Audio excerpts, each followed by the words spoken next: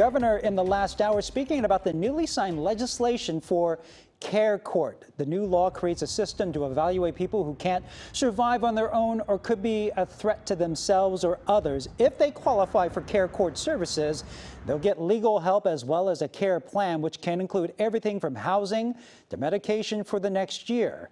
San Francisco is one of seven counties putting the program in place by October of 2023.